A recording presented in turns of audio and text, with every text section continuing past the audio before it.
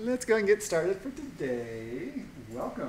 Thank you for joining us for like a, this highly experimental pilot of what will hopefully be a course that we'll offer next year. Um, we're trying to basically just keep on pushing the whole notion of BIM and how BIM tools get used to really the next logical step, I think, in the process. Yeah, in the sequence of classes, you know, we started with basic building modeling and how to create different types of elements to sort of express uh, design visions uh, in a very kind of architectural sense primarily. Then in building systems integration got into how to bring all the different pieces together to try and be a more of a holistic coordinated building that involves all the different things, the structure, the mechanical, electrical. In C, it's been more of an exploration of uh, just really how programming languages and automation can start to help us rapidly explore a lot of options to try and evaluate and ultimately kind of figure out what's most optimal. But the course that's always sort of been missing that I wanted to do is really this one, which is the now that you have all the information in a model that the designers contributed to, how can we then go ahead and use that information to just plan the logistics and the coordination and just the sequence of operations that are going to happen on site? You know, not only at the beginning of the process, but to kind of keep updating it continually through the whole life. Because I think what a lot of you are finding out, you know, in the job site, in the trailers, is that you sort of end up living in these coordination meetings where like all the information that's theoretically in that model and well coordinated you're kind of constantly renegotiating and changing and kind of working with stuff like that. So an awful lot is happening there in terms of how the building industry is really being reoriented. So the idea is to really explore a whole series of tools and what they're bringing into the picture so you kind of try to really get towards which tools are best for which pieces in the equation. Yeah, that's what it's really kind of all about and really what's enabling us to do. In terms of what we're doing here, the idea is to really kind of run a pilot just with a small group and kind of see in a very experimental way, how's this kind of working? Like what sort of takes off? Work together to figure out what the projects could look like. It's all just very experimental at this point. So, you know, even more so than any other courses, like please be really interactive and jump in and it's more like a workshop. It's not really a lecture in terms of what's going on. In terms of logistics, you know, let's just kind of agree on times and things like that. The idea is to go ahead and do it live here. And you know, tell me, based on your experience now, a little bit with the uh, internship, like, you know, what, what's a good starting time for you? Oh, we can definitely do five. Five is generally good. Yeah. Okay, is five good for you, Ron? Okay, so then we'll, we'll leave it at that kind of, and yeah, if you're running late, no worries, just text and stuff like that, that works perfect. And hanging out here, yeah, to do it live here. What we'll do is for, uh, we'll see if Nicholas is going to join us. I think he may be joining us eventually online. And even if people can't come on any particular day, the idea is what I'd like to do is just kind of put it into Google Hangout so that if you want to just join online, you can. It'll sort of show up on the bottom of the screen, and, but you can still interact just the same as though you're here. It's, you know, just kind of trying to make it easy. On the async side, again, I'll post all this stuff to like uh, YouTube, so know, there'll be kind of a list of all those different things on the BIMtopia side, but yeah, kind of consume it whatever you can. Because the nature of it is, and it will continue to be true, for the summer, you know, a lot of things will go on that will pull you in different directions. There'll be times you can't make it. And that's okay. You know, it's just really, I just appreciate the time that you are here. And, you know, it's, it's, it's all just good, helpful feedback. It'll really help shape how this course is going to stay, shake out. Okay. Oh, in terms of units and stuff like, you, know, you guys aren't registered right now. Okay, so, and that's fine. So, go ahead, we'll, we'll, talk about how to sort of get credit for what you're doing here during the school year. Okay, that's all. Yeah, and we'll kind of just figure out as you dive through it, like, you know, how much time you're putting in and all that kind of stuff. But the idea is to really, you know, make that available, like when you, when you, when you have the option of uh, using it. okay, at a high level, here's basically what we're going to be talking about. It really is this whole kind of path that starts with just how we get information together from a lot of different sources and integrated, coordinated, and ultimately get it all oh, just registered with each other so that it's, you're accurately understanding how things are overlapping or not.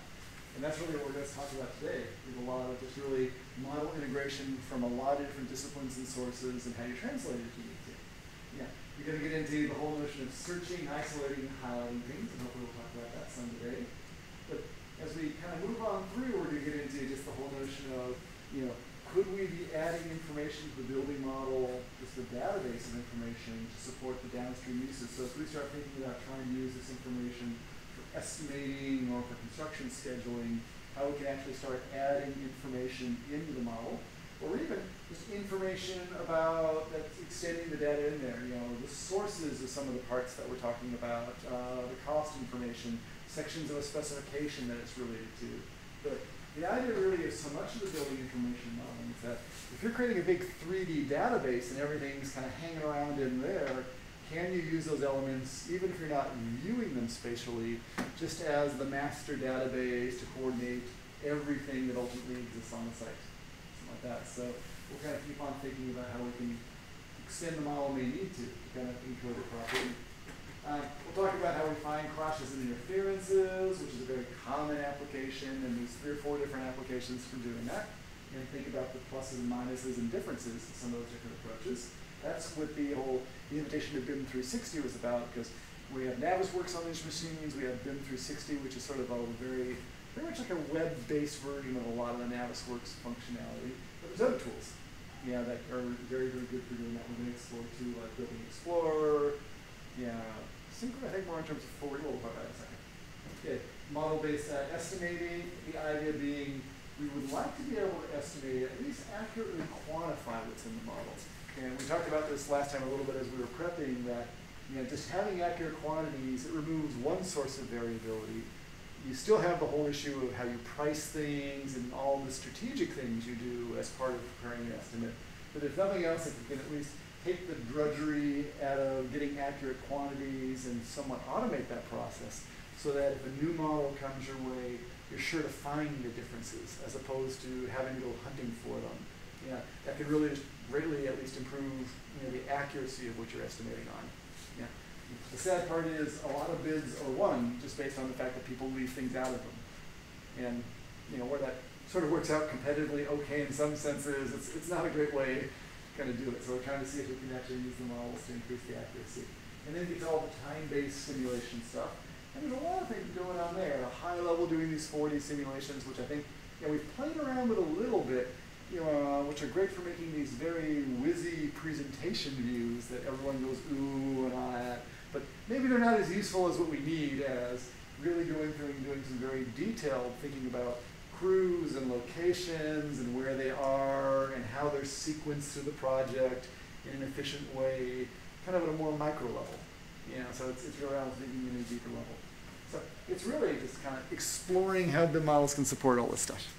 Which, but, and again, yeah, since you guys are actually like in the field right now, you should also, uh, as we go, you know, think about you know topics that you're seeing and just issues that are coming up, and yeah, anything that sounds interesting, let's try and address it and see if we can uh, come up with something and yeah, that might actually be a great topic to be thinking about here. Okay, tools wise, yeah, Navisworks, some of the Autodesk tools are easy to work with. We, um, in many cases, sort of industry standards. So working with Navisworks is kind of a natural. BIM 360 being the oh, kind of the web-based counterpart to it. But some of the other tools I want to be sure to explore are Vico, which is kind of very good in some ways. There's Building Explorer, okay, which is another tool that I think is actually very good and very powerful in what it does. You guys have experience working with iTWO, and some of its pluses and minuses, and which is actually kind of put it on the list in terms of thinking about, you know, where that fits in. But we'll think about really how we want to spend our time together.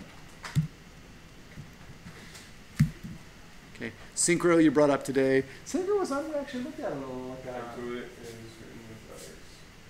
Just I too. Yep. ITW. I mean, the I is okay. And TWO, like that. Okay, beautiful. Thank you. So, yeah.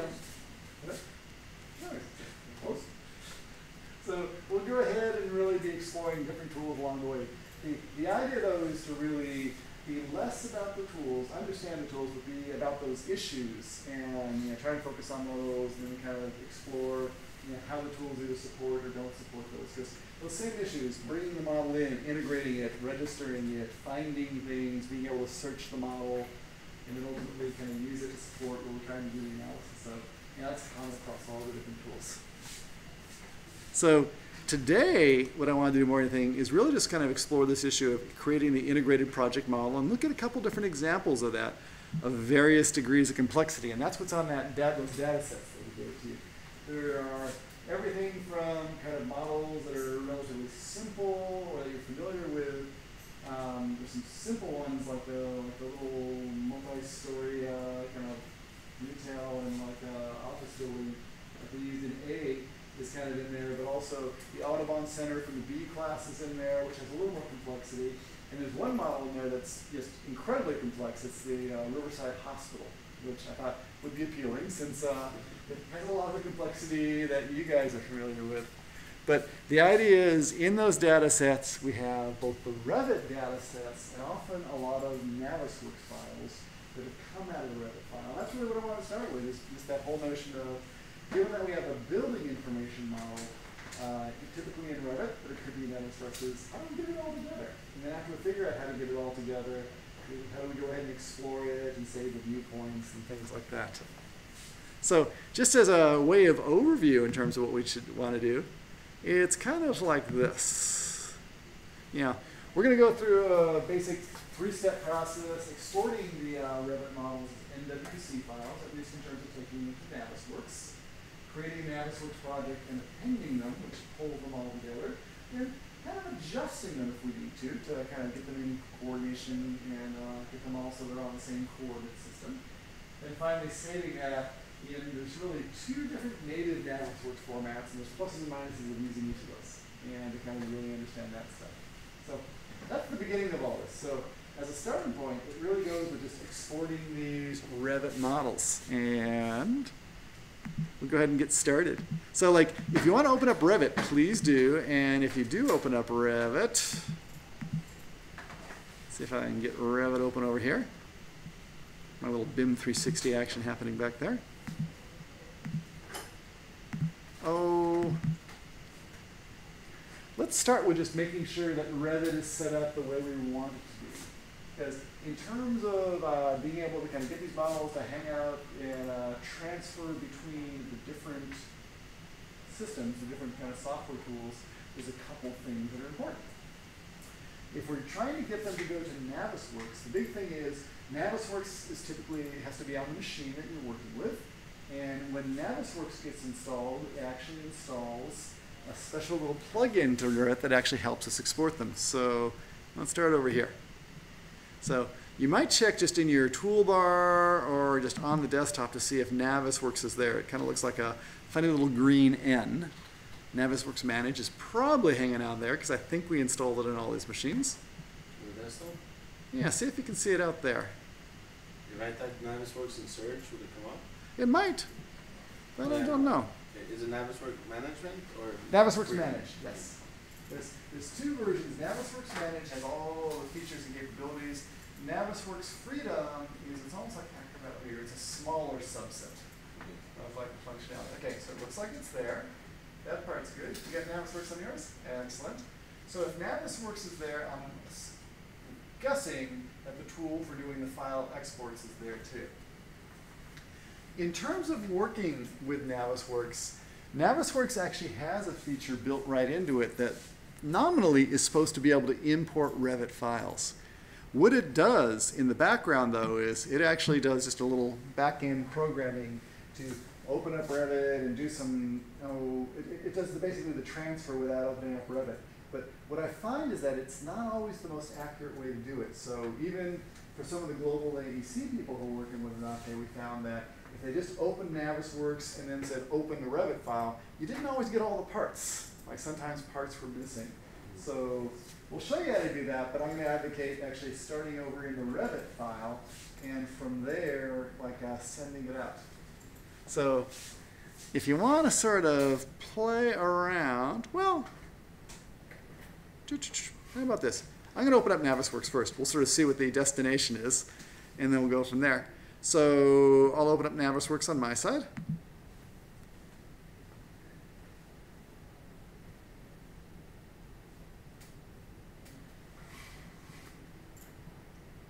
I think I'm opening on my side. There it goes. I'll kind of bring some in, and then we'll sort of export them again and kind of uh, take them back out again.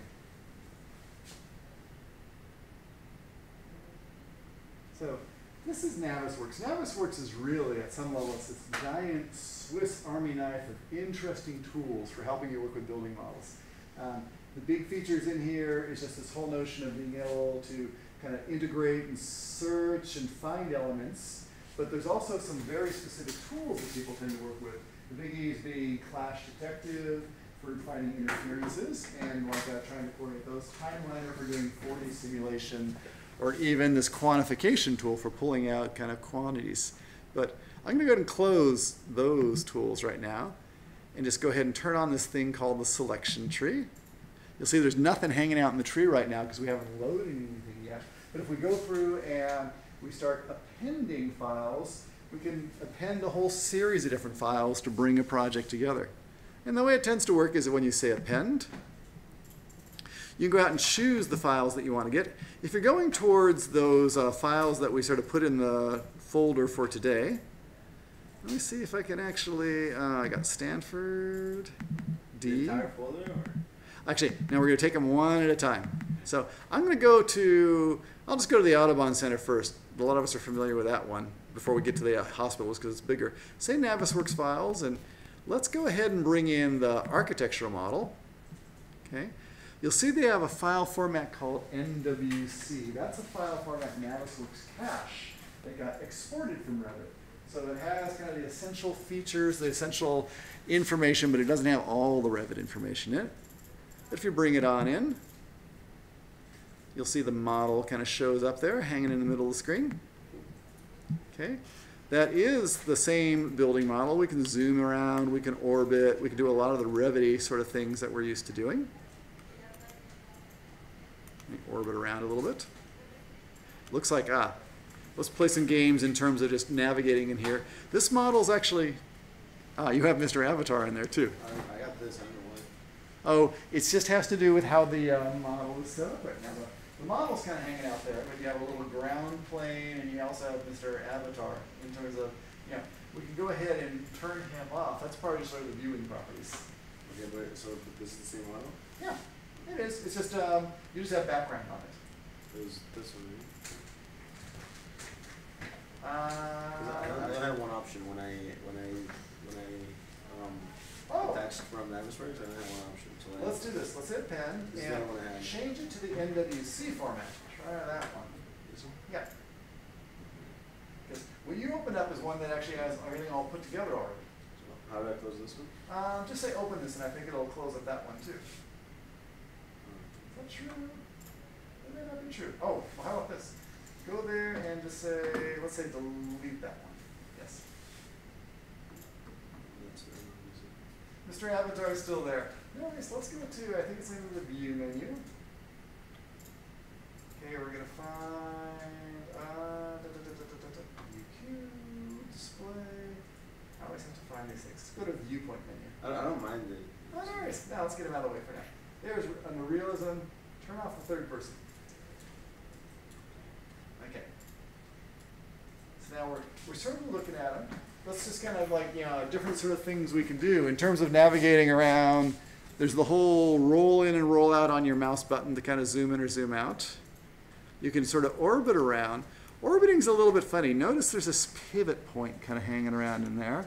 And if the pivot point is a little odd, it's kind of big for the whole space, and you want to like recenter it. This is kind of a trick. It works within Revit too. If you choose the little navigation wheel right here and you choose the center option, you can go ahead and drop the center of your world on some specific Revit element. And the big reason for doing that is it just makes the orbit a little bit easier.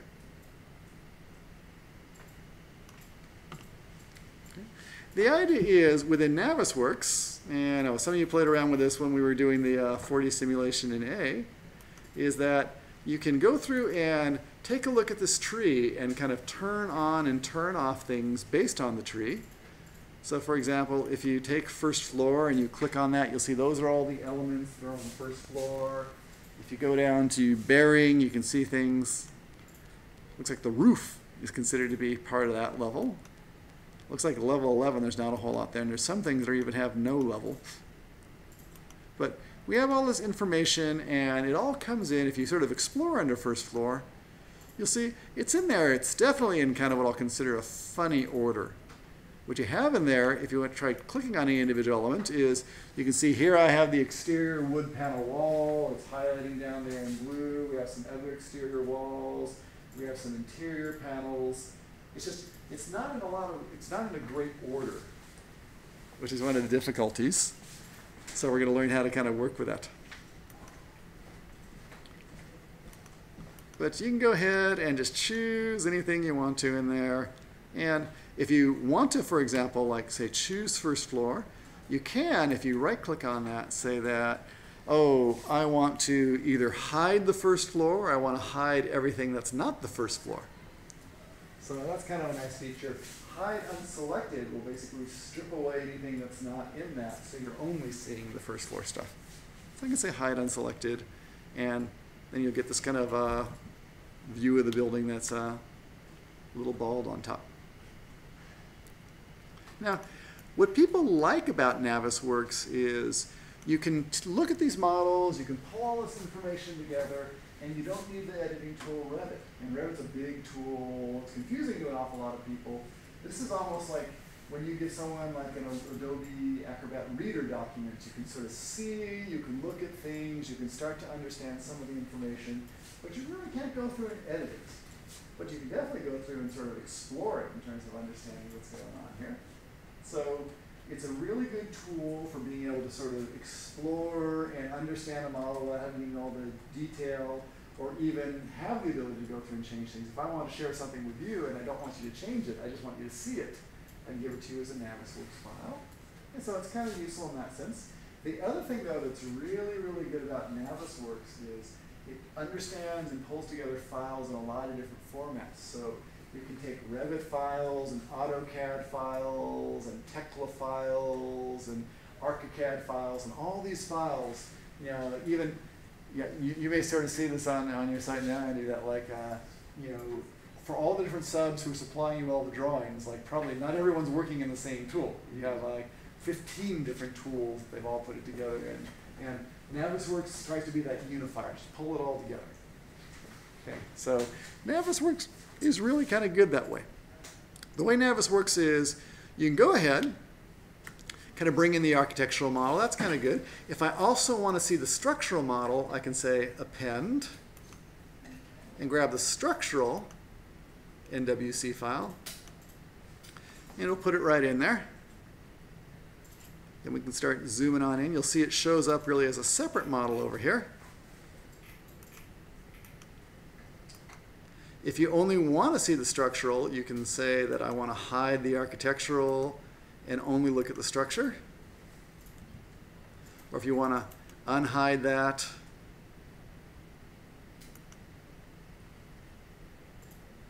you can kind of see them all together. But the idea is that there's a big value just to be able to sort of visually see these things.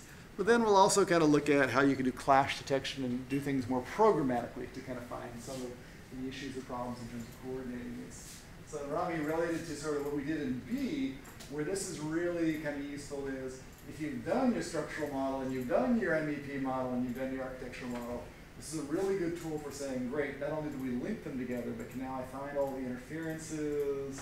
Can I see anything that might be conflicting?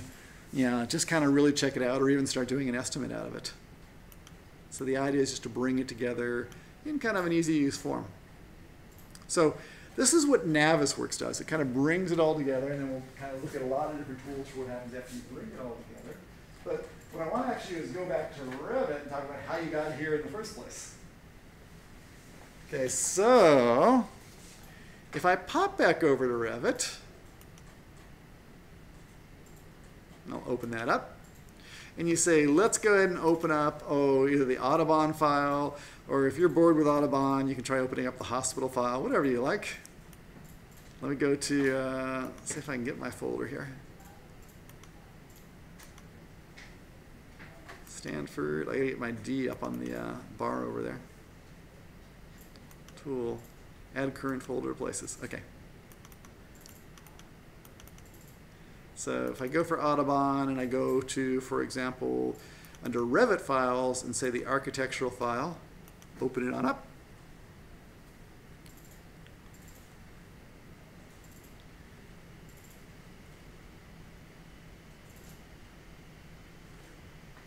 Okay, this should look like the standard Revit file. Take a look at that. So here we're fully ed editable.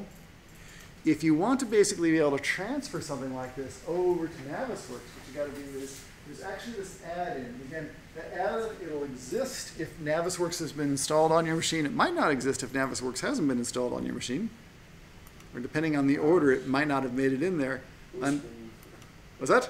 Drag and put blue screen. Okay, go ahead and start it back up. You'll see that under Revit's external tools, there's Navisworks and Navisworks Switchback. Those are two tools for working with it. What Navisworks 2015 does is it saves out as an NWC file so you can do the integration. Navisworks Switchback is actually kind of very cool.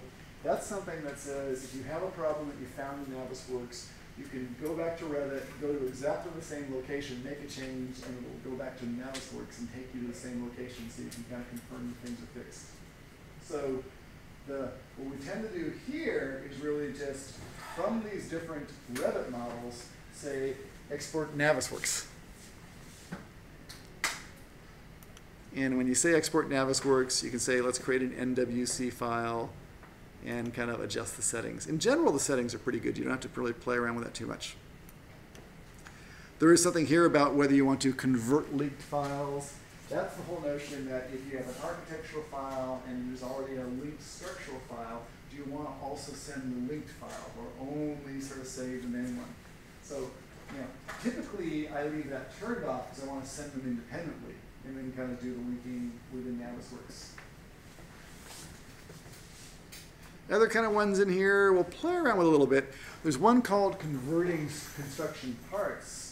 I'll show you what parts is in just a second in terms of being able to kind of break things down into finer levels. What else is in here? There's a convert element, element parameters all. That's typically the one if you've added some custom parameters, some additional data that's not typically part of the Revit database. You want to have that on, otherwise it won't get transferred.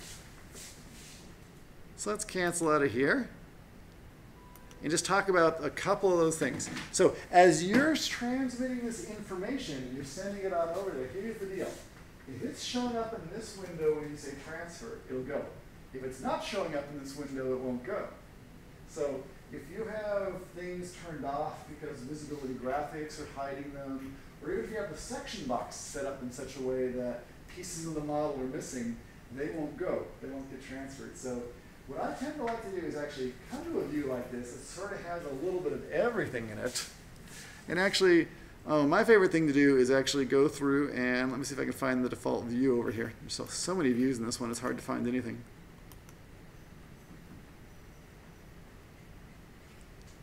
Oh, let me do this. I'll just say view default view. Where is it over here? What I really want to do is just duplicate this view. The 3D view has the funny brackets. There it is right down there. I'm going to sort of just duplicate this. What I'll typically do is just say, hey, let's go ahead and create a view where I'm going to call it like export to Navisworks. So I'll just rename that.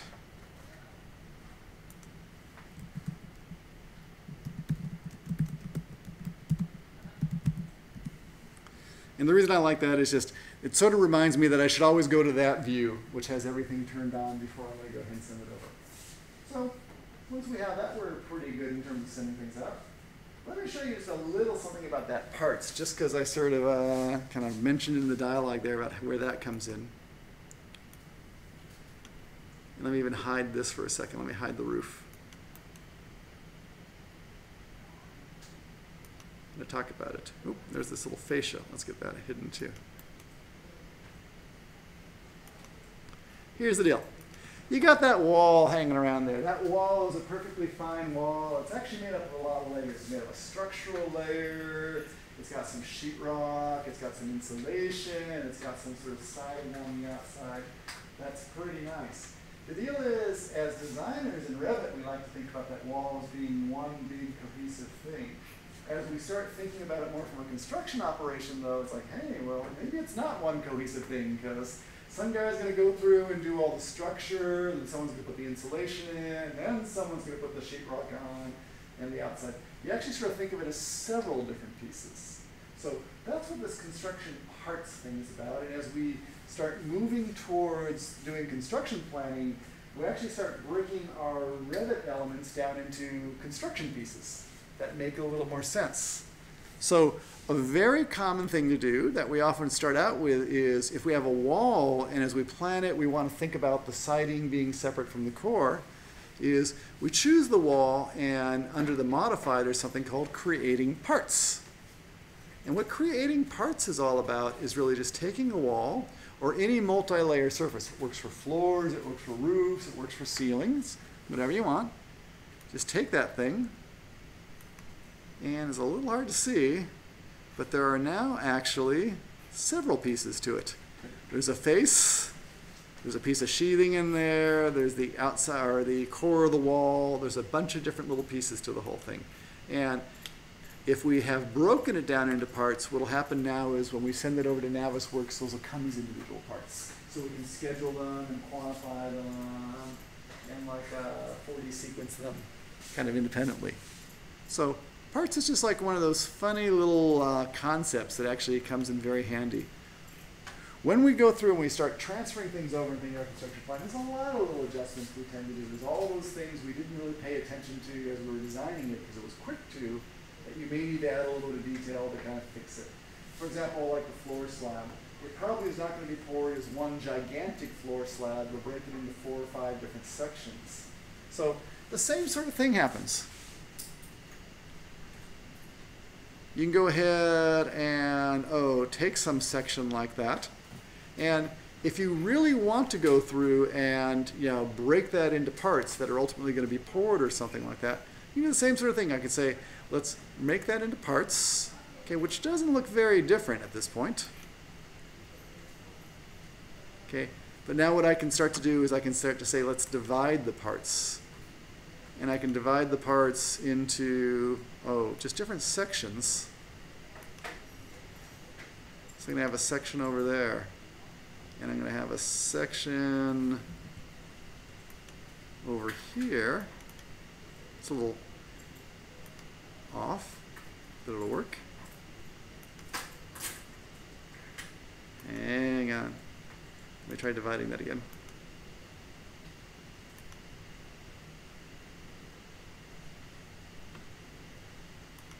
Did I get it far enough?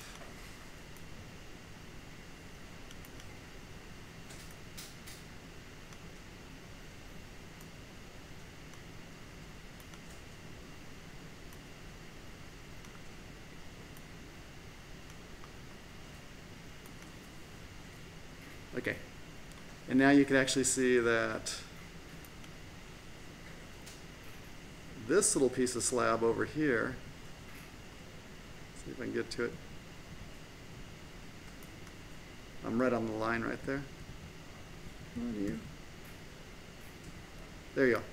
That little piece is considered separate from the piece next to it, so we can schedule it all differently and stuff like that. A very common thing, actually, if you're dividing into parts is when you say divide into parts, you can do it by drawing, or you can actually do it by grid lines, which is a very common thing because grid lines are often a way that we do all that stuff. Okay. In any case, you go through, you sort of say you have your model here already. That part's looking good. When you are ready to export it, let me go ahead and turn these things back on just so that uh, nothing is hidden.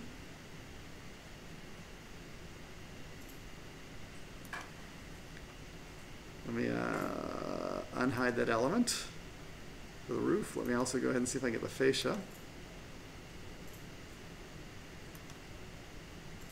Notice the furniture is hidden. It's all hidden just because of visibility graphics, but that's okay. I don't really want to take the furniture for the purpose of what we're doing here. Okay, you got that. If it's in the view, it's going to go over there. So I say, let us go ahead and add-ins send it over to Navisworks. Super, that's all there is. We're going to go ahead and just save it somewhere in a nice convenient place you'll be able to find it. I'll put it on my desktop for now. And you'll see it's going to go through and break it all down. There's 4,000 parts that are here, and then when we re-import this back into Navisworks, it'll all come across.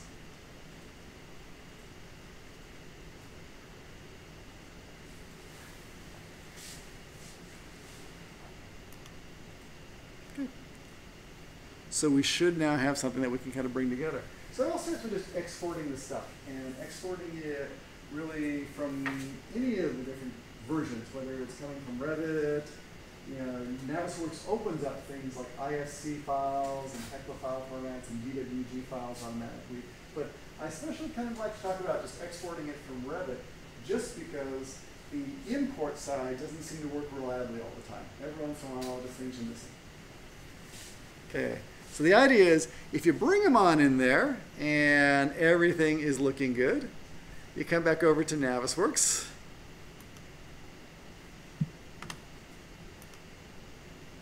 You have them hanging out there.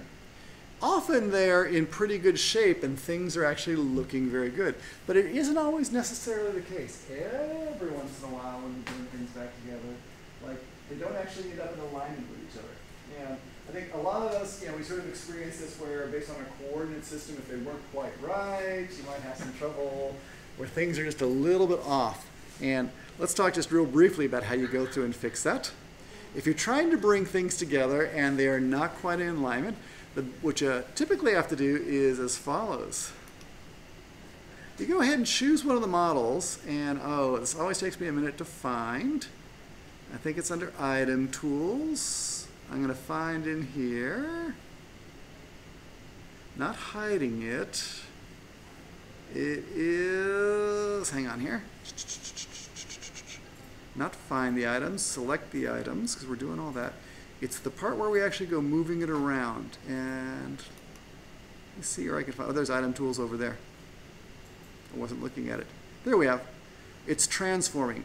There's these tools, move, rotate, and scale, and those are useful to you every once in a while. And here's the issue. Know, if your model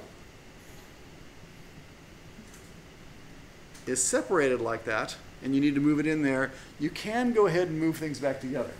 So now we have the architecture, the structure as though they came in in two different locations. Okay. So you can go back and kind of pull them together. Let me go and say reset that to put them back together.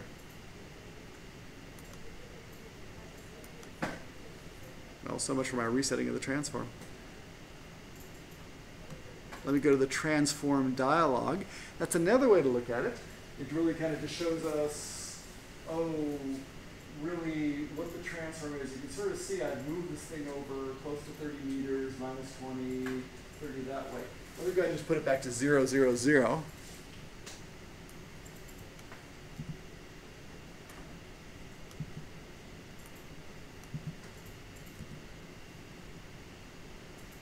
Oh, actually, no, it's the center of the transform. Hang on. I'm goofing on you there. Because that's just moving the center. I'm trying to think. Let me just undo it for now. Pop it back over. Okay, let's see what's happening under the transform. What's the center of it right now? What tab is that? Was that? It's actually sort of interesting. So if you choose a model, for example, the structural model, and you go to Item Tools, Navisworks as well as like Revit's a little confusing in that, well, it can be confusing, in that if you choose something and there's a green tab that's not the one that's open, you know, it's hanging in the background. Okay, you can either choose an individual tool or choose that tool if you, it's kind of a hidden pull down menu, which brings up a dialog that lets you kind of change everything. So let us just try something, oh, relatively simple that will be a little more controlled. For example, if we positionally, let's move uh, this thing like, oh, 30 meters in the x direction or something like that. You can go ahead and just type that on in there. Okay, and it'll shift it off. We can go ahead and uh, put it back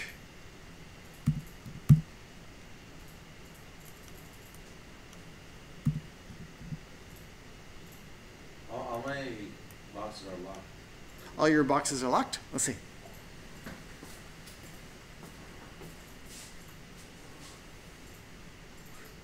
Interesting. So it's all. Okay. Let's try this. Let's go to the uh, selection tree. And you got that chosen. Okay. And then. Interesting. Next, say, say transform again. There. Or under there, yeah, 40 underneath it. Why is that? That should not be locked. This is the the Navisworks, the one I imported from Revit. Oh, that should be okay in terms of the NWC. That should be fine.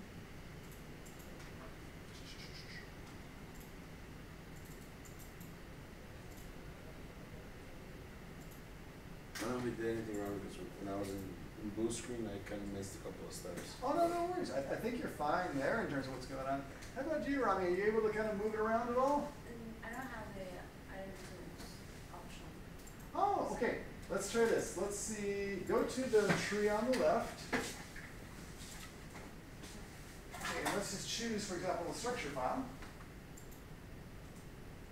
Oh. Okay, and now let's go and under item tools. Let's see, and, then- and we'll transform menu. It's still locked. How would we lock it you guys and not for me? Sadece dolayı çok bakınca kolanın sadece. Cool. Cool, cool, this is- This is very interesting in terms of why that. And if you, so if we try to type in there at the norm, but it's, why uh, is it locked? Or is, how do you first one? Go to the structure, let's try that one. And now do the transform. Still locked.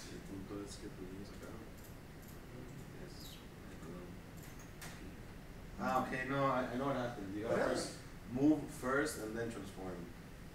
Ah, so move first and then transform? Ah, oh, then it highlights that specific tool. Okay, wow. Nada more. So 30 in the x-axis, you said? Yeah. And then I can do reset.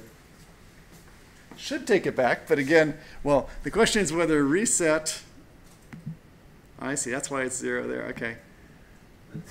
It's like whether reset just sort of resets it to zero, resets the position scale back to the original values. That should actually take it back.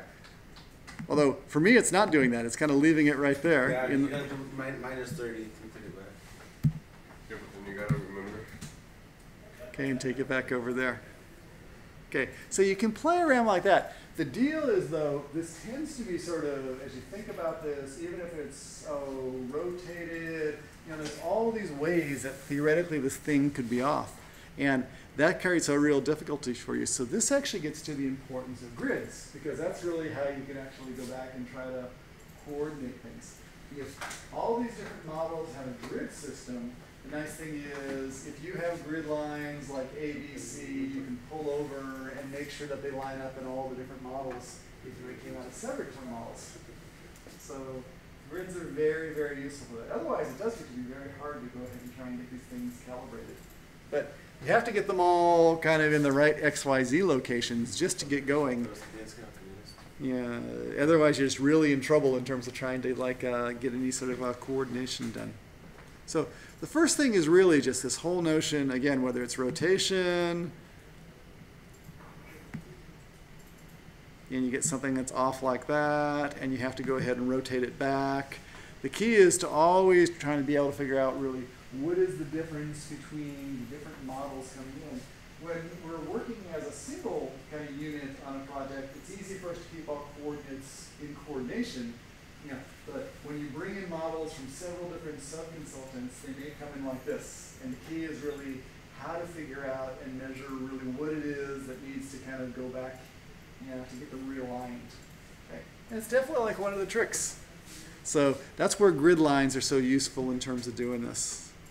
Actually, let's try this. Let's open up a different one that I think may even have the grid lines.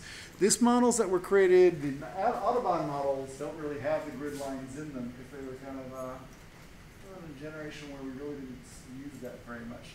Let's go ahead and like, open up a different one in Navisworks and see if we can actually look at the grid lines. Go to, if you can,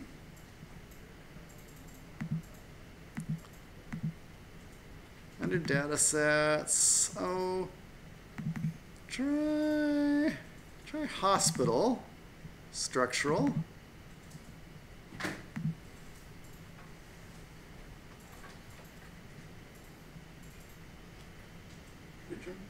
Oh, I went to the hospital, which is a very Navisworks uh, or Navisworks? just the Navisworks file.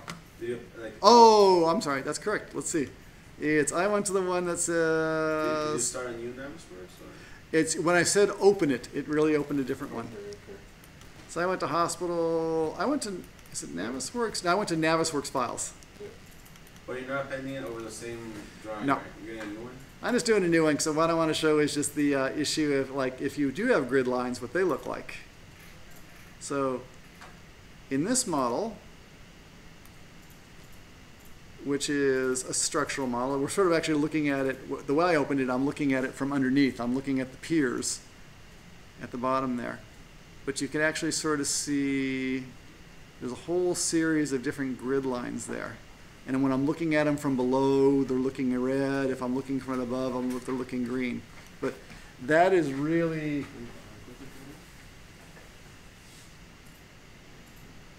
that's useful when you want to go through and uh, just try and align some of the models. If you have grid lines, you can sort of pull them into alignment and use them to make sure everything's kind of like a truly in coordination.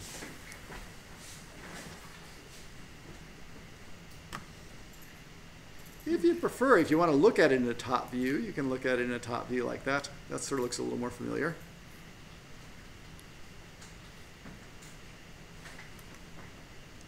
Even under the view, oh, what else is kind of useful for you here? Trying to think, there's show grid or don't show grid, which is under the view menu. Just kind of useful in terms of, again, being able to line things up from different sides. But it all just really starts with first just trying to bring all these things together.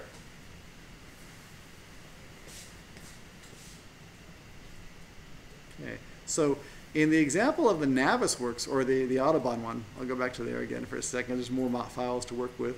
Again, I'll say new, and I'll just append. Go back to the Audubon set. I'll get the uh, architectural, and I'll add the MEP or something like that into it.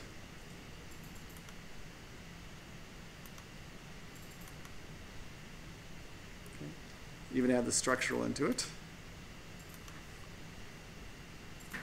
The idea is as follows. After you've put all these files together, okay, and you've gone through all the work of getting them coordinated so that you know we're all looking at the same pieces and they're in alignment, you'd love to be able to save this because once you go through and do all that work, you want to sort of keep that translation, keep that rotation, make sure that you're reapplying it. Even you know if tomorrow Alejandro gives me a new version of the architectural file and I know his coordinate. oh, Come on in, it's fine. Yeah, his uh, coord. Come on in. Go for it. Yeah, yeah. Your coordinate system is just rotated and off from mine. The nice thing is I'd like to be able to save this information so tomorrow I don't have to keep on reapplying the same transform. And you can save all that. That's actually sort of what you want to do. We would like to take this integrated set of files and save them around as something that we can kind of reopen and we don't have to go back and reappend all the NWCs, just kind of bring them together. So I got these three different sets over here. When I want to save these, what I can do is go under the uh, File menu and say Save. And there's really uh, two major choices you have to worry about here, or two big choices you have to think about. There are two file formats that Navisworks creates. One's called NWF, a file set, and the other one's called NWD, it's like a document. So NWCs, those are the ones that come in. Okay.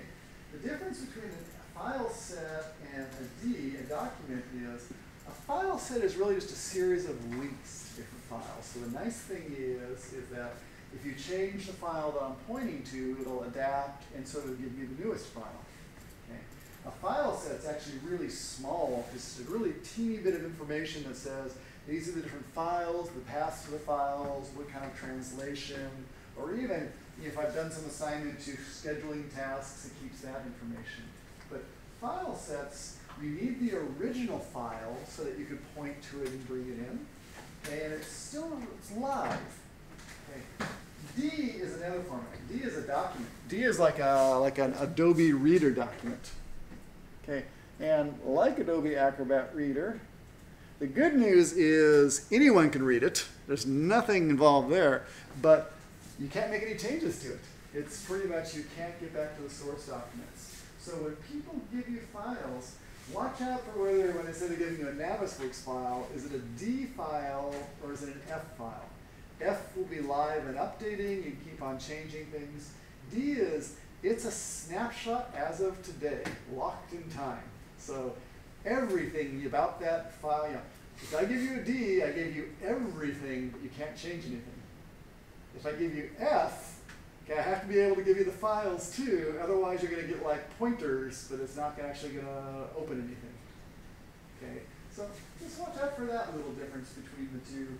Generally, I tend to say things as files, file sets that are live, okay, as opposed to D.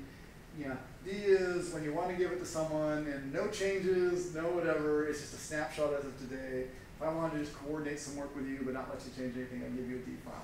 So if you open the D file, then you can't change it into an F file, No. I suppose. Now, so Andy, I think even what happened to you when you first got started is you open, there's a D version of it, and the guy's standing up, all these things are set up, super, but you can't change anything. Whereas the F file, the links, then I can, I can hide, I, I can do all the So you- changes. You wanna keep on saving F until you have the final drawing? In, until, as long, as long as Well, forever. Everyone, everyone who wants to continue to be able to have it active should always have access to the F file. The, the D file is really, you, you, you send that to the person who I don't say you don't trust, but you, you want to give them a, a locked set. Okay. Yeah, it's, it's a, they, they can look but can't touch. When you give them F, you're allowing them to change things. Okay, so just watch out for that in terms of two different formats. Okay, so you can save them. The good news is when you save it as that, it comes on back. So for example, let's just save it as an F set. I'm going to say, let's just save it as an Naviswork file set.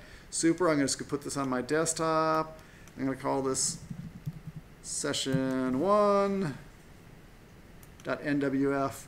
The nice thing is now tomorrow, or if I mail this to you and send you the files, whatever, we can now just go ahead and say, let's open from desktop, session one. Won't look very dramatic. Let me do new first. open, session one. It'll come back in. So just saves you time. So all the work of it's also good in that you know if you have different sets that you're coordinating and putting together for different purposes. Maybe the structure MEP is one NWF set with the architectures out of it. Anything you choose to pull together.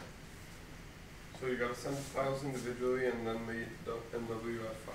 Actually, you can sort of save it all, send it all together. It's really what's going to happen is I mean, you can send them all together, but you gotta set, attach the files. yes, yeah, And 'Cause- you gotta do that.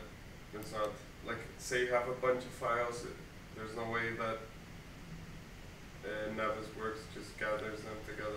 That's an interesting one. You sort of wanted to do that, don't you? You really sort of wanted to say, let's go ahead and export this in some way. Can you do that? It's FAQ, but it's, it's not, it's, it's nothing where it's really, it's sending the whole set. That's interesting. That's, that would be a very useful tool in terms of what it is. Because even I think what's happening here is it's really depending upon those by file names. So as you know, wherever those files are located that I pulled together, if I move them around or change the names, it won't necessarily find them. Well, let's go ahead and try it. That's actually a really good question. Are they linked? Like I. I think they're basically links. So let's try this. let's- So if you change the file, would it change the entire model? If you independently change the structures file, would it automatically change the, um, The, the Navisworks file? yeah? Only if you save it as another NWC. If the NWC file changes, then So, so, so it is like lively linked to the end of, to the NWC. So let's have, even try that. Okay, let's try this. Let's say that, okay, I'm going to close that on up. We're going to go back over here. I'm going to go to my session one folder. So hang on, see if I can find where my Stanford goodies are. What city is that? In the background. I'm looking to see if there's any landmark. I don't know. This one I don't know where that is because it's not it's not Hong Kong. It's, these are almost all Asian cities. I don't see the Petronas Towers. I'm not sure what city that is. Any ideas? I don't know. Gandini's the man of the world. So Dr. Gandini. No idea. I don't know what that one. Okay, let's go back over here. Da, da, da, there it is. Navisworks files. So I said architectural central super. Let me call it just like version 2. Okay. Ah, because the file, it actually understands the files open in Navisworks. Let me close it in Navisworks and then we'll change that name. Can, you have multiple projects open in Navisworks at the same time? Now, only, only one project at a time. Which is, like, so it's, it's always one project at a time. Yeah, because when, when I opened the hospital files, it made me close the other one. Oh, exactly. Okay, so now it's called V2. So let's go back to Navisworks and then like see what it actually does when it sort of uh, decides that it's not so happy. So I'll say open. I'll go back out to my file set again. Ah, so it says it can't resolve the reference. It seems to understand there's something called Audubon Center. It's going to ask us now, go ahead and browse for it. So I can relink it to the same place. Okay, so I'll take it to V2, and that'll really take its place. I found the city. It's Guangzhou. All right, how did you do that? Just by like I image just thought I, I, I, I've been there, so I thought I was, but I didn't know. Is it this? Oh, that one. That's So, it. I Yeah. was looking for it. Very good. We have better than image search. We have Alejandro. it's like, okay. So in terms of like pulling these all together, saving and stuff like that, Navisworks is a really good for doing that. You know, we'll play around with next time is really it's selecting and searching, and there's all sorts of things you can do within here. Actually, let's just kind of give you a preview of that. It's really, you know, once you have this stuff set up, okay, and we're looking at it, and we have the model integrated and stuff like that. The biggie things people tend to do with this is you can hide and unhide different things. So I'll hide the structure, you know, unhide the structure. I can highlight different things. There's all those things you can do. That's actually kind of useful. Another way of looking at it, though, that is really very useful is you can take this view and you can start section boxing it. Because see how section boxes are really sort of cool for understanding how things interrelate. And again, if you didn't give oh, access to the models, you know, back in Revit to do this, you can still get information out of the model that way. So we can go to the view tool, for example.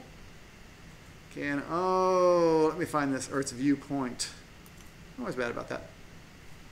Okay, we can go through and start creating some sectioning. So within here is a couple things we can do.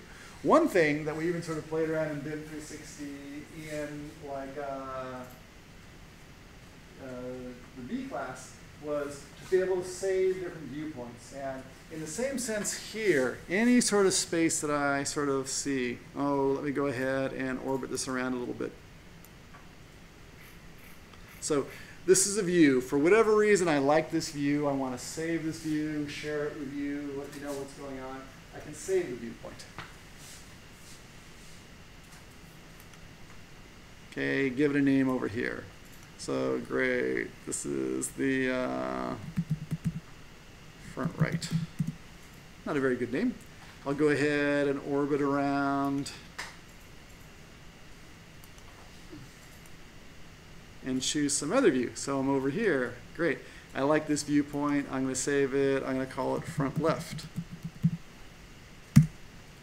Okay, viewpoints, again, very much like in BIM 360, are just save camera positions. So if I click on front right or I click on front left, you can start building up a whole library of different save viewpoints to help people just understand and navigate the model. So there's all sorts of different models in here. There's even some saved models of uh, viewpoints. If you want to sort of explore some of them, go for it. You can go through and say, there's the ortho south, there's something about the interior hallway, the administrative exterior, just all these different camera positions have been saved on the model. And those are really quick ways of navigating through the model. So the idea is you want to sort of build up all these saved viewpoints. Once you have the saved viewpoints, the idea is if you're from a viewpoint, if you want to turn on or turn off different things. For example, in this viewpoint, you see the structures here, you see the mechanicals here, I have the architectural here. Maybe in this viewpoint, it's a little confusing to see the architectural as well as the structural mechanical. If I really just want to focus on structural and mechanical, you just hide the architectural. So I'll say, great, let's just go ahead and hide that. Okay, and turn it off. And now I can sort of walk around and look at just the skeleton of the building. In terms of walking and things like that, there's sort of the orbiting that we've been doing. Another tool that's over here, they have a special tool down there that says walk, or you can do it using the kind of navigator you may be used to in Revit. Either way, but walking basically just takes you through.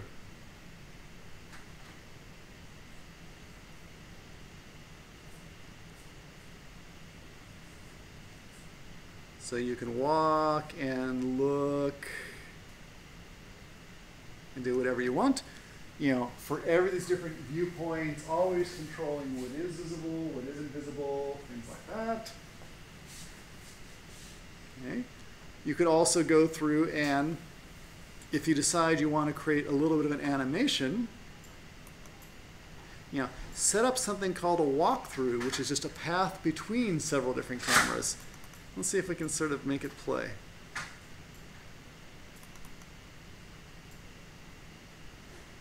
It looks, it looks like it's not all there. We have it there. Eh, we'll play with that next time. In are working on that. Let's go back over into the building. Okay. That whole thing, Andy, that happened to you where it was the guy standing up in the front. You can turn that on if you want to. That's third person. Is that for scale or? Yeah, it's just really just to give you a sense of scale. You can adjust these little avatars to sort of be more like you. So you can sort of see yeah, approximately where that is.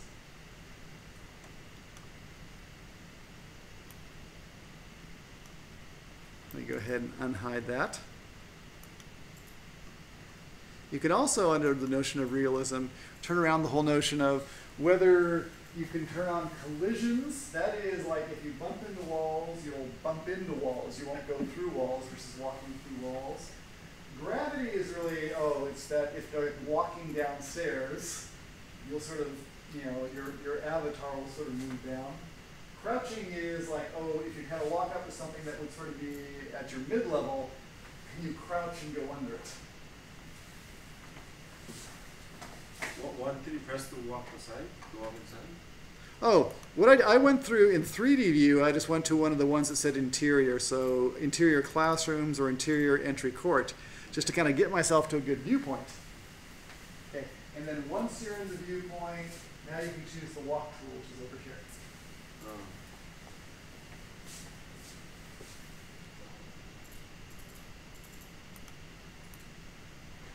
So we'll come zipping on in here. You can see things like lights floating up in space, which aren't very good. So let me turn on the uh, collision, just because I want to sort of see the effect of if I go into the glass, it won't let me go through the glass. Let's see if it'll let me go through the door. I want to see if doors are special. No, still won't let me go through. So there's a way of quickly turning off collision. I gotta think about what it is, whether it's it's something weird like holding on the space bar or something like that. But let's see if we can get anything on there. Control D turns collision on off. The defect the function defines blah blah blah. I know there's some shortcut. Well, we can go into it and control D it.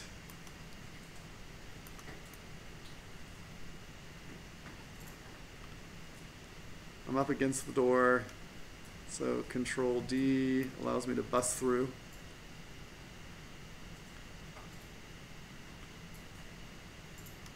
I can turn it back on again, so I'm not kind of running through things. So it's all about setting up these different sort of viewpoints and kind of being able to navigate around in there. The nice thing is, as you're working around the model, um, you can also interrogate the model. So as you're looking at the model, if there's anything that sort of catches your eye that you want to know more about, you can go to the Home tab and say Select and get information on, oh, that's this W18 by 24, or that is this HS66, or that is some type of a door panel that's over a 10 foot 6 opening. So you can interrogate everything. You get the properties of things, okay, which is actually kind of nice. Even here, there's this little selection inspector. As you go selecting different things, it'll kind of tell you what it is that you selected to give you a sense of that. We're going to get into ultimately marking those things and saying, hey, you want to go through and change these things and go back to Revit and change them. Okay. One last thing for today, and then we'll get out of here for today. It's as you're working around, let me go to the outside and orbit it around.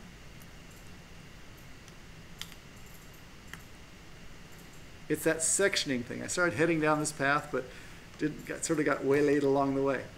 Sectioning does this. It's really, it's like the section box. Walking through in a very uh, immersive way is kind of a really great way to experience the space. But if you want to think about it more in terms of, oh, just being able to cut through and see all the systems in place without hiding them, enabling sectioning lets you do that. And let's talk about that.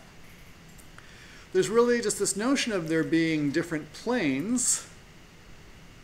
And- Oh, so under uh, viewpoints, say enable sectioning. So go to viewpoint, it should be over there. Okay.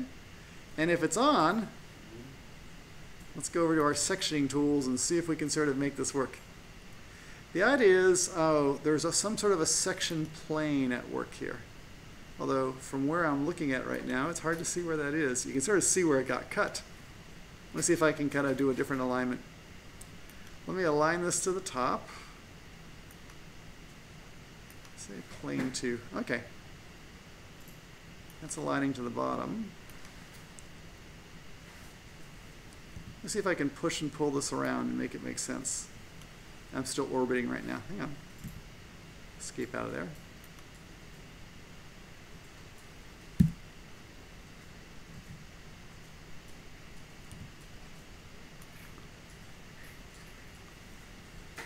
Where am I? I'm in a very weird spot right now. Let's see if I can make sense of this again. Oh, let me see if I can get back to this. Hang on. There's different planes being turned on. You could actually define different planes. What I want to see is actually just uh, the plane itself. So hang on. Let me go back to the outside again. Let's pan that up. Okay, turn on the sectioning. So here's the section plane. I want to get rid of that thing. It's usually Control W to get rid of that. I want to. I just close it up there. Okay. In terms of the plane,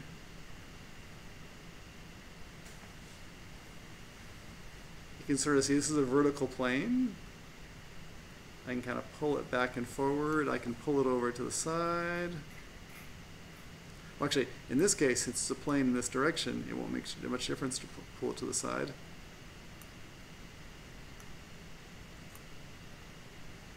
Let me switch it over so the alignment is a little bit different. That says alignment top, which sort of confuses me. Oh, well, that's still there. Okay, let's try a different plane. Okay, we now got plane two.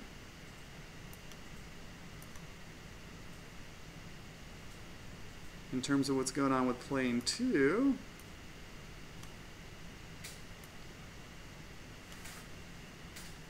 close that up. Underneath it. There we go. So it looks like in terms of what's going on, what I'm saying by the alignment is, is this thing that I'm doing, this plane, is at the bottom or the top? And in this case, it's the bottom. Let's kind of changing that to plane two. Let's say, let's make it the top. At which point, okay, we'll be growing up that way. We're kind of oriented in sort of a funny way. But the idea is that as opposed to making hiding everything, you know, you can use these planes to go through and kind of see and highlight and just try exploring different information, kind of quickly uh, just giving people a sense of really what's inside the building, just by sectioning it through. Okay, which is actually kind of nice in terms of just really quickly uh, just being able to see how all the complex information really stacks together.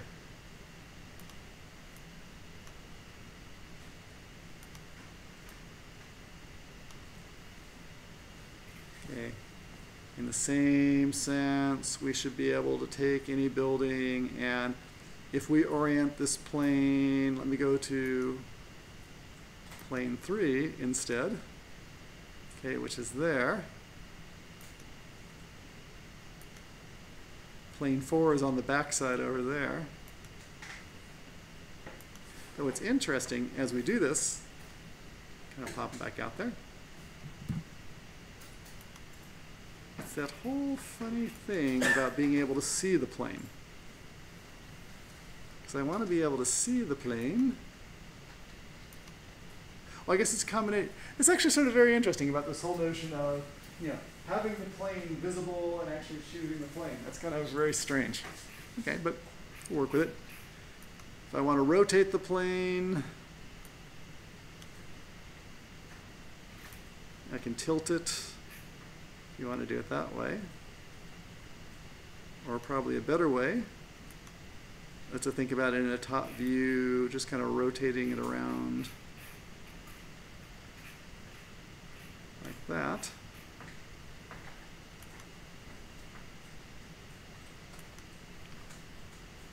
So now I have this like a, turn off the rotation, go back to moving the plane, being able to cut through the building to see things like that. So next time we will continue to play with all this stuff in terms of this working with app. What we're gonna do is really say, hey, okay, it's great that we can get these models in here. That part's looking pretty good. It's good that we can go through and kind of turn things on and off and start sectioning things to sort of highlight different things. That's all looking pretty good. What we're gonna do is get into you know, how to save those things, kind of make little walkthrough animations, as well as to say, you know, this thing over here, which is pretty ugly in terms of the standard selection tree for finding anything, you know, how can we put together different searches and criteria to make that a little more accessible so we can actually find things we want without just having to go padding through that whole tree? Because, you know, typically what you want to do, I want to select all the ductwork, or I want to select all the ductwork that's greater than 12 inches round, or I want to select all of, you know, different things that meet criteria. So the big game in working with Navisworks is really, it's not only being able to kind of see it and visualize it, but being able to select more fluidly so that you're not just looking at a list of a thousand things, but you can really quickly get down to the ones that you're interested in. Okay? That we want to tag or export, or do whatever we want to do. Cool. Okay. Let us break for tonight then, and uh, just continue on Tuesday. Thank you. And always. How about this? Like in terms of between now and then, okay, you got some models, so okay, we put them on the machines here. What's the best way to get things to you? Like, uh, do, you, do you have Dropbox or Box, or what's the best way? 'cause I can put all that stuff up, or I can put it up on the web just as a link for you to download it. Is, the- is the drive enough big enough? The Google Drive? Say what? Is Google Google Drive has, big has 15 gigs, so it probably works if you have nothing else. Yeah, I have, I have Google Drive. Okay, great. How about you, Romy? I have both. Yeah, both. Just what's the what's the best way to get files to you? Because I could certainly take this thing and it's in Dropbox. I'll get, I can send out a link and you can download it, put it on your own PC, whatever you want. But it's just good to like you know just yeah give you models to play with, so you can just start start messing around on your side, on your own side. Okay. Like what? So any preferences? Google Drive? yeah. Okay, Google Drive is real easy. Is that good for you, Alejandro? I think so. Okay, because yeah, you get like 25 gigs for free or something. There's a, there's a lot I of think it's fifteen. Is but it yeah, 15? Maybe twenty-five. It's it's really it's pretty fluid about what's going on. Let me see if anyone of mine. How much data do you manage? How much? Not terribly. Yeah. Not Terabytes. nah, we're not Like, too between- bad. Between schoolwork and out of this work and consulting, all that. How, So how it's, it's data? 15 gigs. No, it's it's well no it's the, the thing that I have takes up so much space. is All these videos and The stuff like videos that. are. How much did you say last time? Every More than one tera, right? yes, yeah. It's it's just because there's like you know Is it an over H- five. Is it an HD camera? No, it's even just you know that camera over there is Oh. it's it's really it's well it's I guess no it is sort of HD. It's sort of recording my screen full screen. It just every session is like about three gigabytes or something like that. It's just yeah, it gets to be really really big. When you the good thing is when you put it up on YouTube, it really it strips it down and it becomes like a couple hundred k or a couple hundred megabytes. It's much much better. But yeah, it's just a lot of data. So it looks like that that's 15 gigs. So if I if I send you a link to link it that way, whatever. This yeah, I gave you a lot of models today. It was like 700 Actually, megabytes. for me, if you can, can you continue to share it on the Google, on the Dropbox? Yeah. For me? Yeah, so you're good that way. Just leave it there. So so you you, I'll you have that session one, and then if you have yeah something else. you, you just have my whole session folder. So, so or from the whole course folder. So I'll just Oh, yeah, that was it- the whole course? Oh, yeah. So as I give you session two, session three, I'll just keep on putting things in there. Okay. Okay, but not everyone has a lot of Dropbox space because you have to pay for it. Yeah. So if Google Drive works for you, I'll send you a How, link how, on Google Drive. how, how much or how much gigabytes? How many gigabytes does it come when you start the? It starts with two gigabytes. for free, Yeah, and then you guys are paying. yeah, So Google Drive is fifteen for free. yes. And you're gonna put the videos on YouTube or on the Dropbox? I put them on. I put them on YouTube. Okay, so I don't have to. That you don't have to worry about the videos. Okay. No, it's really just the data sets. Yeah, no, but just in case I want to rewatch them. yeah, exactly. I know exactly. I think especially as you get started, because yeah, this is newer for you. Yeah. You know, all this weird flying around on the screen and stuff Yeah. like that. Yeah, that'd be a little strange. Like, yeah, actually, for you, for a lot.